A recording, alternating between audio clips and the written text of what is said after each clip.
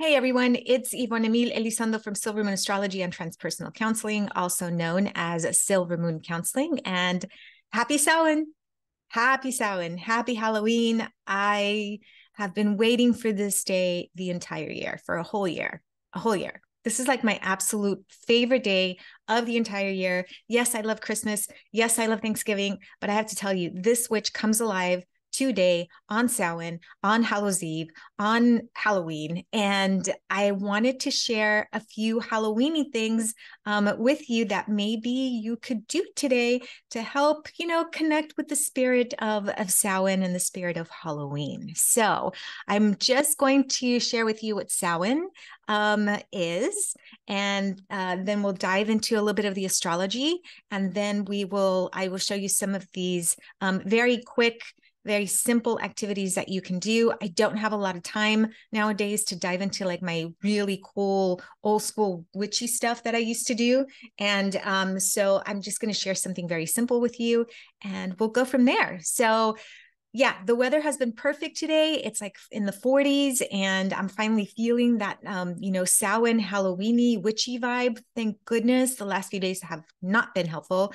The astrology has been trying to kill me. Um, let's put that aside for now. But anyhow, so let's focus on uh, Samhain. Okay, so in the states we know well, pretty much we know Halloween, right? But Samhain is a originally was a pagan festival. Okay, and it was the last of the fire festivals. It was the last of the harvest festivals, and so this was a time when we were preparing to go into the underworld, so to speak. We were preparing to enter fall and winter, the dark, you know season of of the year. And so samhain is very representative of all things hidden right? And so this is what we celebrate right now. We celebrate all things hidden and, and it's all the fun stuff for me right now. It's all the witchy stuff. It's the you know the tarot and the astrology and the occult and and all of that fun stuff right? But it's also about celebrating our ancestors in spirit those have who have transitioned um, from this earthly incarnation into spirit form. It's about celebrating our spirit guides who probably get really annoyed with us because you know we're human and we make like really silly decisions a lot of times. So um, this is a great fire festival time and that's why we light candles okay? So um, i posted a quick little video yesterday on my facebook about the candles that i had prepared for celebrating you know um, samhain and hallows eve. So anyhow that's the quick in and out of um, samhain. It is a, a, you know a celebration of all things hidden. It's celebration of spirit. It's a celebration of the transition between this life and the next. And uh, at least that's my interpretation. I'm going to stick to it. You may disagree. Others may disagree but that's the quick and short version of my interpretation of samhain. So let's talk about um, I am so excited. I can't tell you. I, I'm I I feel really good today. I feel really good. So let's talk about the astrology. Okay. Um, yeah, the astrology is uh kind of gnarly today. So we're not going to talk about that part. We are going to talk about Venus trining Pluto. So Venus and Virgo trining beautifully, connecting beautifully. Um, Virgo's an earth sign. Capricorn is an earth sign. So Venus in Virgo trining um, Pluto in Capricorn. Okay. And Pluto is direct now. Thank goodness. Okay. Venus is direct right now. Thank goodness. So let's focus on the good stuff for today. Okay. So, why am I excited about this particular trine? I usually don't get excited when Pluto is involved in anything, but I'm really excited right now because Venus, the goddess of love, the goddess of aesthetics, the goddess of, you know, goodness and connection is connecting to the Lord of the underworld. Then this is what the season is about. This is what today is about the underworld. Okay. So, this beautiful, you know, trine between Venus and um, Hades, Pluto, the Lord of the underworld, is perfect for uh, this this uh, today for Hallows Eve for for Samhain. Now the aspect isn't quite direct, um, it's not exact just yet, but we are working towards that exact alignment. But that's okay. We'll take it because for me, it's the best part of the astrology today. So let's enjoy all things underworldly today. Let's enjoy all diving in deep to ourselves and diving diving in deep to this, you know, a Samhain Hallows Eve. Okay. All right. So how do we do that? Great. I'm glad you asked. All right. I have a few little quick um, ins and outs that you could do to celebrate today preferably with candles or one candle or a match, birthday candle, doesn't matter. Because it is a fire festival, we do want to involve some sort of flame. Um, unfortunately, all of my flames are downstairs where my witchy stuff is. So we're going to pretend there's a flame here. Okay. All right. But the first thing I like to do is, you know, taking a journal, right? Look at this beautiful journal.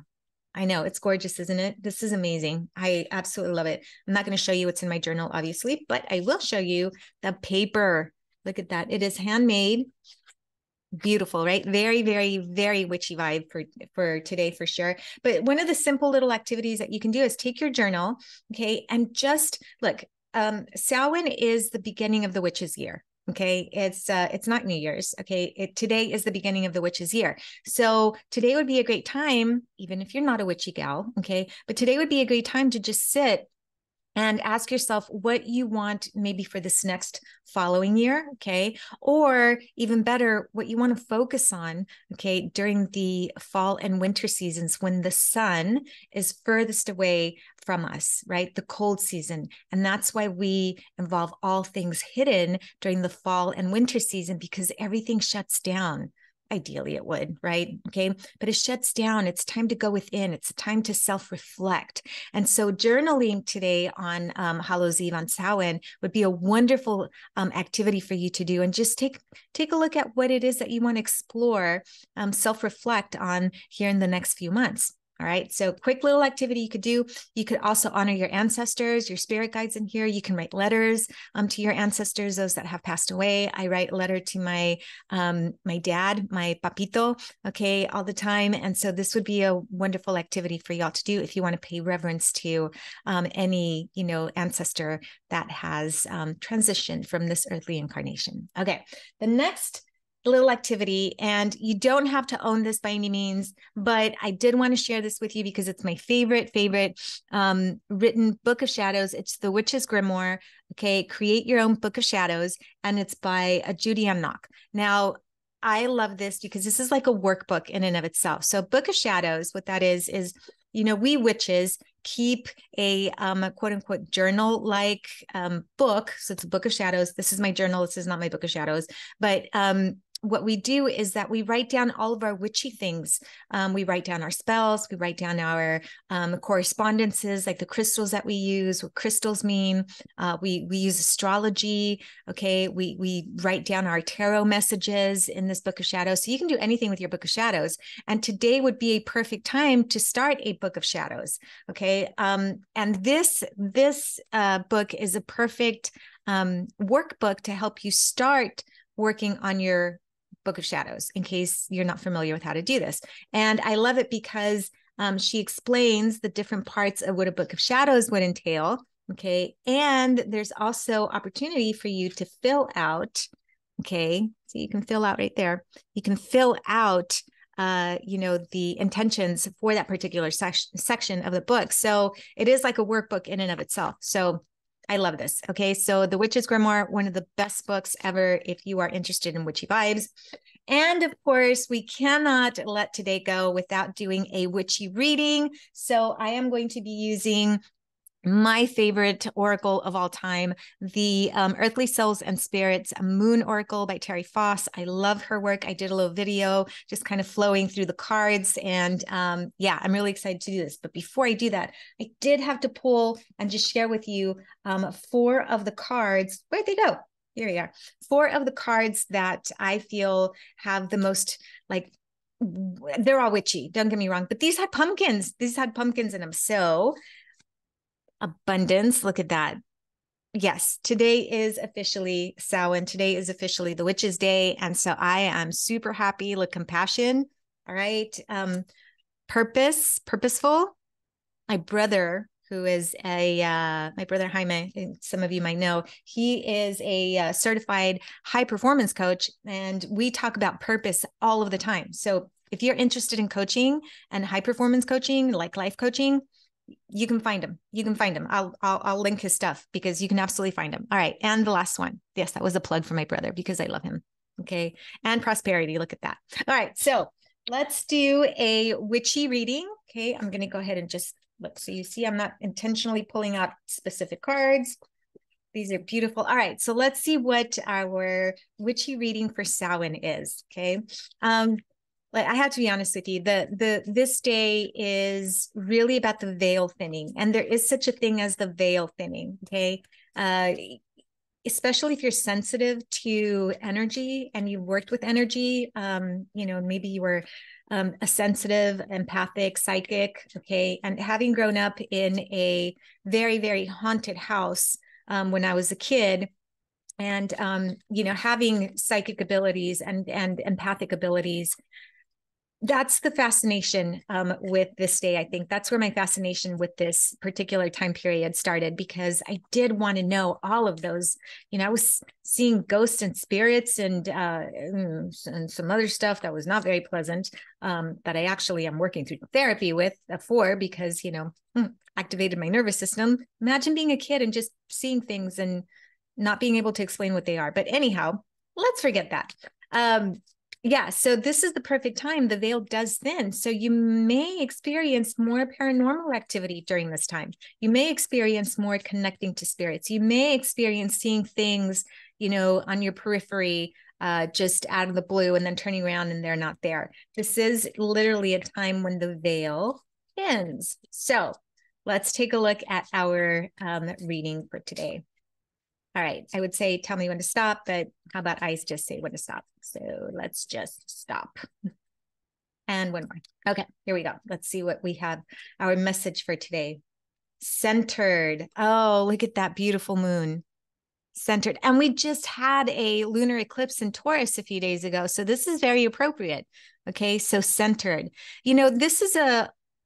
I feel like for the witchy vibe, okay, it is about being centered. Okay. It is about bringing balance to life. It's about bringing balance to your experience. And that's really what um, the healing aspect of witch work is. It's about bringing balance to life. Everything in this universe, everything in life is very much centered on finding balance. If we have too much of something, then we're depleted in another area. If we have depletion in one area, then we have too much in another area. So, the essence of witch work for me is very much about finding balance finding balance in your life finding balance you know in your friendships finding balance in your relationships in your finances. Finding balance um, is really the middle way. And the middle way is the approach that we witches take when we are working with healing and especially with spirit. So now what you can do is use your journal and maybe journal, you know, some of the ways that you need to find balance in life for this season. Maybe it's about self-reflecting because we're going into the fall and winter seasons, self-reflecting on how you can find more balance in life. So I am okay with that one. I don't know about you all, but I am definitely okay with that one. Let's pull one more and relax. Have a good time tonight. Honestly, y'all be safe. If you're going to go trick or treating, um, be safe. Uh, enjoy, have a good time. I hope it's nice and chilly wherever you all are at. And um, that is it. I'm I'm happy. I'm very happy today. I'm I can't. You can tell I'm happy. All right, everyone. That is it. Enjoy Samhain. Enjoy Halloween, and um, blessed be.